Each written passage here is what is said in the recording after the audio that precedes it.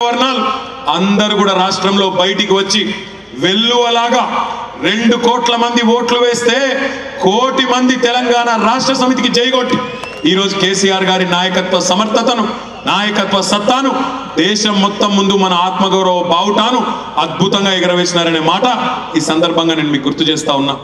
దాదాపు నలభై ఏడు శాతం ఓట్లిచ్చి డెబ్బై ఐదు శాతం స్థానాలు నూట పంతొమ్మిదిలో ఎనభై ఎనిమిది స్థానాలంటే డెబ్బై ఐదు శాతం మార్కులేసి డెబ్బై ఐదు శాతం స్థానాలను టిఆర్ఎస్కు కట్టబెట్టి తమ గుండెల్లో కేసీఆర్ గారిని ఎంత దృఢంగా ప్రతిష్ఠించుకున్నారో తెలంగాణ ప్రజలు ఈ దేశం మొత్తానికి చెప్పడం జరిగింది. మనతో పోటీపడ్డ ప్రజా కూటమి మనకు తొంభై ఎనిమిది లక్షల ఓట్లు వస్తే ప్రజా కూటమికి వచ్చింది యాభై ఆరు లక్షల ఓట్లు. అంటే మనకంటే నలభై రెండు లక్షల ఓట్లు తక్కువగా వచ్చినాయనే మాట ఈ సందర్భంగా నేను మీకు గుర్తు చేస్తా ఉన్నా. అది మాత్రమే కాదు అది మాత్రమే కాదు. ఇంకొక జాతీయ పార్టీ బీజేపీ పార్టీ ప్రధానమంత్రి వచ్చి ప్రచారం చేసినాడు. ఐదు రాష్ట్రాల ముఖ్యమంత్రులు వచ్చినారు. పదకొండు మంది కేంద్ర మంత్రులు వచ్చినారు. ఆ పార్టీ జాతీయ అధ్యక్షుడు అమిత్ షా గారు వచ్చినారు.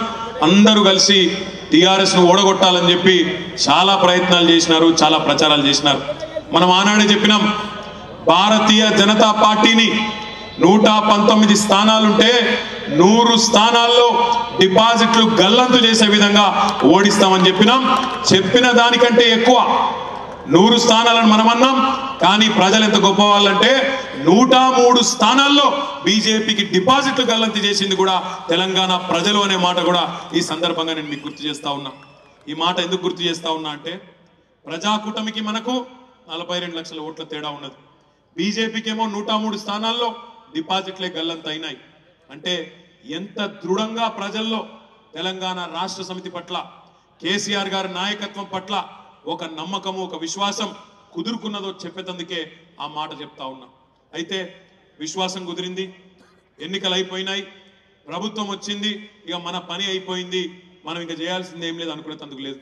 అసలు పరీక్ష అసలు మరి మన అసలు పోటీ ఇక్కడి నుంచే ప్రారంభమవుతున్నదనే మాట నేను మీకు గుర్తు చేస్తా ఉన్నా. ఎందుకంటే పెద్దలు చెప్తారు ఓటమి నుంచి గుణపాఠాలు నేర్చుకోవాలి గెలుపు నుంచి పాఠాలు నేర్చుకోవాల్సిన బాధ్యత కూడా మన మీదనే ఉంటుంది. ఓడిపోతే తప్పకుండా నేర్చుకోవాలి. ఇప్పుడు మన ఉమ్మడి వరంగల్ జిల్లాలో పన్నెండు స్థానాలు ఉంటే ఆ పన్నెండు స్థానాల్లో పది స్థానాల్లో అఖండమైన మెజారిటీతో మనం గెలిచినాం. కానీ రెండు స్థానాలు ఓడిపోయినాం.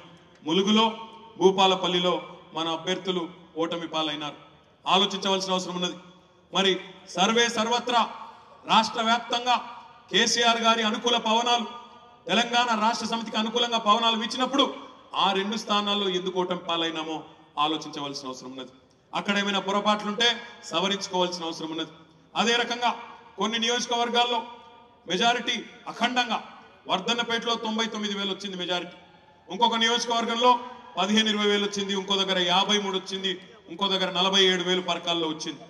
అంటే ఈ మాట ఎందుకు చెప్తా ఉన్నా అంటే ఇంకా కొన్ని చోట్ల మెజారిటీలు పెంచుకోవాల్సిన అవసరం ఉన్నది ఇంకా ఓట్లు ప్రజల విశ్వాసాన్ని గెలుచుకోవాల్సిన అవసరం ఉన్నది.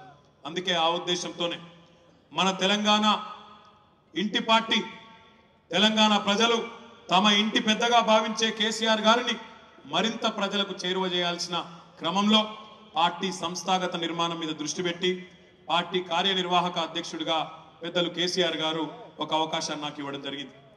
మీ అందరితో నేను చేసే విజ్ఞప్తి ఒకటి ఈ వేదిక మీద కూర్చున్న అతిరథ మహారథులు కానీ వేదిక ముందున్న మా సోదరులు సోదరిమణులకు కానీ నేను చేసే విజ్ఞప్తి ఒకటే. నేను మీలో ఒకడిగా మీ సోదరుడిగా మీ అన్నగా మీ తమ్ముడిగా మీకు ఎల్లవేళలా అందుబాటులో ఉంటూ అది ఏ జిల్లా అయినా తెలంగాణ వ్యాప్తంగా ఉండే ప్రస్తుత ముప్పై ఒక్క జిల్లాలు కానీ రేపు ఏర్పాటు జరగబోయే కొత్త జిల్లాలతో సహా మరి అందరికీ కూడా పార్టీ కేంద్ర కార్యాలయంలో అందుబాటులో నేను వ్యక్తిగతంగా ఉంటాను. అందుబాటులో ఉండే విధంగా మన గౌరవ శాసన సభ్యులను గౌరవ మంత్రివర్యులను గౌరవ పార్లమెంట్ సభ్యులను శాసన మండలి సభ్యులను కూడా పార్టీ తరఫున స్పష్టమైన ఆదేశాలు జారీ చేస్తామనే మాట కూడా ఈ సందర్భంగా నేను మీకు విజ్ఞప్తి చేస్తా ఉన్నా. ఎందుకంటే ఈరోజు వేదిక మీద కూర్చున్న వాళ్ళం కొంతమంది మీ పదవుల్లో ఉండవచ్చు. కానీ ఒక్కొక్క నాయకుడు ఈరోజు పదవి పొందినాడు అంటే ఆయన వెనుక లక్షల మంది కార్యకర్తల శ్రమ ఉన్నది అనే మాట తప్పకుండా మనం గుర్తుపెట్టుకోవాల్సిన అంశం. అందుకే పార్టీ కంటే ఎవరు పెద్దవాళ్ళు కాదు. ఈరోజు శాసనసభాపక్షమైన శాసన మండలిలో ఉండే శాసన మండలి సభ్యులైనా పార్లమెంట్ సభ్యులైనా రాజ్యసభ సభ్యులైనా మంత్రులైనా అందరం కూడా పార్టీకి సంబంధించి పార్టీకి సంబంధించినంత వరకు పార్టీయే తల్లి లాంటిదనే మాటను ఎవరం కూడా మర్చిపోవడానికి వీల్లేదు. అందుకే ఈరోజు ఒక మంచి కార్యక్రమానికి వరంగల్లో శ్రీకారం చుట్టాం.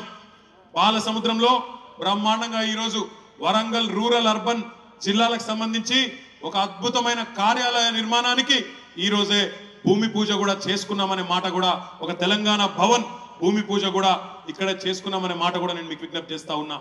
ఆ తెలంగాణ భవన్లో మన జిల్లాకు సంబంధించిన ఎమ్మెల్యేలు మన జిల్లాకు సంబంధించిన మంత్రివర్యులు మన జిల్లాకు సంబంధించిన శాసన మండలి సభ్యులు పార్లమెంట్ సభ్యులు అందరు కూడా వరంగల్లో ఉంటే తప్పకుండా మీకు అందుబాటులో ఉండి మీకు ఏ సమస్య వచ్చినా అధికారుల పరంగా కానీ పరిపాలన పరంగా కానీ వ్యక్తిగతంగా కానీ రాజకీయంగా కానీ ఏ సమస్య వచ్చినా అక్కడే ఉండి పరిష్కారం చేసే దిశగా ఖచ్చితంగా రోజులో కొద్ది సమయాన్ని అక్కడనే వెచ్చించి కార్యకర్తలకు అందుబాటులో ఉండే విధంగా స్పష్టమైన ఆదేశాలు లిఖితపూర్వకంగా మరి మన పార్టీ ప్రధాన కార్యదర్శుల ద్వారా కార్యదర్శుల ద్వారా జారీ చేయడం జరుగుతుందని చెప్పి కూడా ఈ సందర్భంగా నేను మీకు విజ్ఞప్తి చేస్తా ఉన్నా.